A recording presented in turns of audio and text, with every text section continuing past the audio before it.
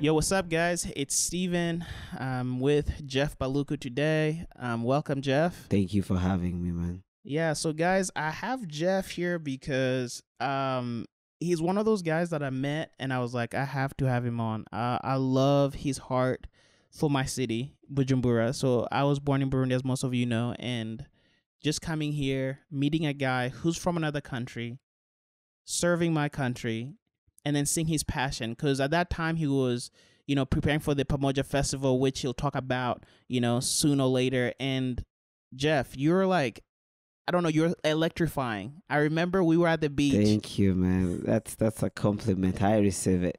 Yeah, bro. Like, I just, you know, for me, the question is just like, who are you? How did you even come here? What what led you to do these things? Not many people I see doing what you're doing, you know? Yeah. How did you get here? Um. Well, I was from Maz. Well, no, come on, man. I'm just kidding. Well, um, it's very interesting. To cut the long story short, um, the church that I come from always does I, what we call my miracle offering. Every year we give money and support to any church around the world. So when it came to this time in Uganda, it's called Watoto Church. It's like we want to support a church in Burundi, a church plant in Burundi. So you know we did the same. We we we everybody you know digs deep in their pockets to support a mission in Burundi. So I also dug deep into my pocket, and I remember by then I had like a hundred dollars written on my name, and I was like, God, I say I believe in you. And the scripture I stood upon, I, it was more like a wise man wins wins souls, somewhere in Proverbs, and I invested, you know, uh, that into that mission in Burundi. A couple of you know months later, my youth pastor comes to me. He's like, "Oh, Jeff, would you go to Burundi?" I'm like, "Huh?" So in my head, I was like, "Dude, I just gave my money down there. You want me to follow it?" Come on, come and on. I was like, you know, I said, you know what, give me time, you know, let me pray about it and see what's up. And, you know, I prayed about it and my heart was like, okay, dude. In my own view, I was like, go down there for six months, do what you need to do. So the job was to come down, help the church plant, find a couple of people, train them to see how they can do youth work. Um, so I come down here and man, I love the place. People appreciate me. We appreciate each other. Down here, nine years down the road, here we are. Nine years? Yeah, man. Nine years. Tell me your first year. I just want to hear about the first year, Jeff. What was it like? So first year, um, I usually tell this story. Um, so I come at the airport, you know, and man, I'm looking at the airport. I'm like, is this the airport? And I know the feeling, man. Yeah, is this the airport? I'm like, okay, yeah, okay. So guys, welcome us. And the guy who picked me is actually uh, one of uh, the founder members. He's he's a construction guy, so he was getting his hands dirty. So he comes to the airport picking me up with shorts and bruises, and I'm like, for real, this is a war torn area, man. This guy even has bruises or something like that. So you had this image of Burundi being at war, and you know you could probably imagine going into Ukraine. That was more like my my mind. I'm like, man, I'm going to a war torn, you know, area and but you know what? It was totally different from what I had in view, man. Sometimes media can flip up stories, you know. Right, right. And here I am, I meet beautiful people, beautiful culture, and you know, I fell in love with it first time. People that are willing willing to learn, welcoming. And you know what? We thought we had come to teach people, but we actually learned from them. Come on. You know, and we planted the church. It's thriving. uh, You know, it's a French Burundi is a French speaking country. Right. And here we are planting an English speaking country. That was crazy for starters. wow. So you come here to plant an English speaking church Yes. in a French country. Yes. What courage. Surely. But you know what? It's it's amazing that you know amidst that whole big mass, there's lots of people who are actually interested in an English speaking church because they were expatriates, people from other places that we know are looking for a place to worship, and we, you know, guys who want to learn English as well, plugged in easily, and that's how we're able to skyrocket the ministry. Wow. So Yeah. like Jeff, tell me like what so like that first year you come in, you're plugged in as like, you know, like in the church planting season. So like how do mm-hmm. you get your you know, like in a sense, like for you, you know, when you go home, what Yeah. was mm-hmm. that like? Like finding friends, right? You have to start over. Because did you come with anyone, or was it just you? So we came as a team from different countries. So that's also another dynamic. Getting used to a team from different countries.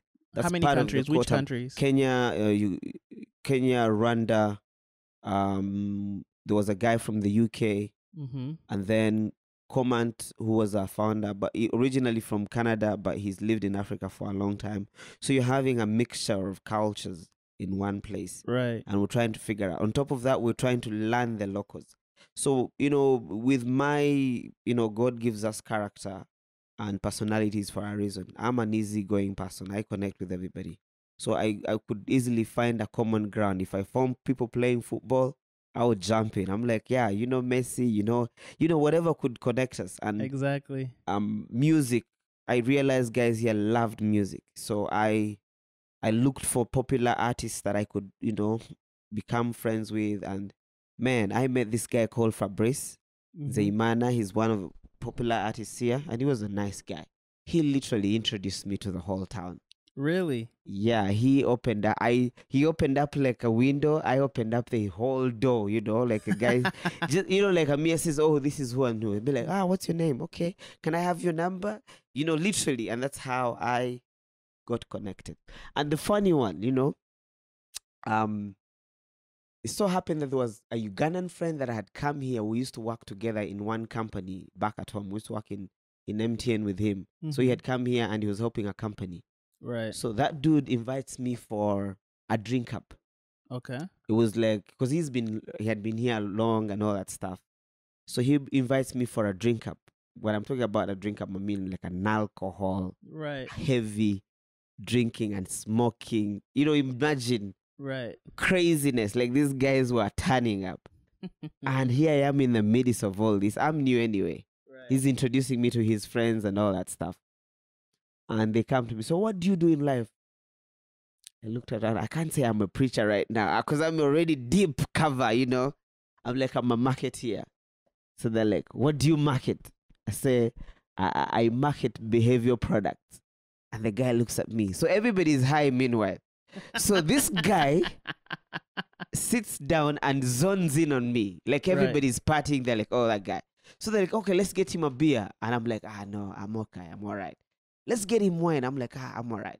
So then this guy, because he's already zoned in into me, he brings a product and it was um it was a malt.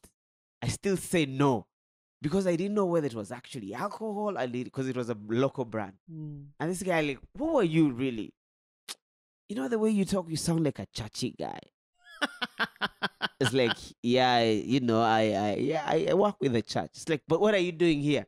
It's like I'm hanging out with my clients. You're my client, my guy. The guy laughed, and from that time he became my friend. And he also opened up a whole world door to the corporate world. yeah. And you know, up to now, every time I sit back and I see in the city, it's like you see what literally in that place, it's like I met all the doorways to the city as well. You know, it's those little things that you know introduce you to different circles of people. I just love that. I'm Yeah. a marketeer. Yeah, You're my client. yeah, you're my client. I'm like, uh, we have branches all over the world. You know, we deal in behavior change. You know, isn't that what the church does? Yo, that's good. I'm gonna have to use that. yeah, Ah, yeah. dude. so so you know those funny you know things just get people's hearts warmed up and all that stuff and that's how i got friends in the city Right. yeah That's amazing, man. That's amazing. I'm really, yeah. That's like just to see how much you've had impact in this city yeah in just Thank you. nine I'm years is like amazing. Yeah. So like, if someone is having that moment right now, is listening to this, yeah and they're thinking about going into a different culture yeah to like follow God's calling over their life, Yeah. what would you say to them as we close these kind of like Yeah. podcasts? Like, what would be your advice? What kind of mindsets, what kind of things do you think you wish you'd have known before you moved to Burundi to to live? Because you've married a Burundian. for sure man you can Yeah. yeah, sure I, I think jesus gave us a blueprint he said carry your sandals and go you know you cannot have the entire money of what you're going to find there. You know, you're dealing with human beings, you're dealing with cultures. All you need to be is be open hearted. Right. especially if you're missionary. Don't go there saying, you know what, I know better than them. They will learn from me. Tell you, you'll be shocked. You'll be learning from them too as well. Exactly. It's just having a very accommodative um, heart and willing to learn. But also, what I realize in every culture, there's always this one um, common factor. You find a ball, football. You find rhythm, dance, music. right. Then you find food, and those are all what we call um, common grounds that you'll sit down and crack a conversation around. So you, as a person, you need to be, how do we say, um, sensitive Right. to Right. see what are the common grounds you can have a conversation. And you have to be looking out for them. You're like, yeah, is that popcorn? Yeah, we do have popcorns back home. What do you guys put in the popcorn? It's like, we, we put salt. No, you put sugar. You know, it'd be like, wow, that is interesting. And a conversation begins from there. You need to be able to find common grounds. right. And right. that's how you win yourselves into people's hearts. And they themselves win the, themselves into your heart. And ministry becomes way better. And for me, the key is love the people that you're going to minister to. That's it. Whoa.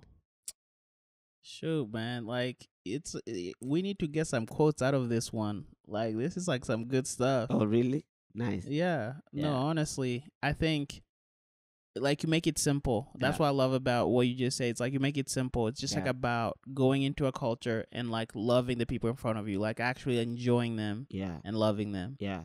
I mean, love is an energy. You can't you, you can't hide away from that. Even if I expressed it in a lo- wrong way, for, for for starters, like I come from Uganda, we we don't we're not huggy huggy, you know. Right. But Burundians are huggy, you know.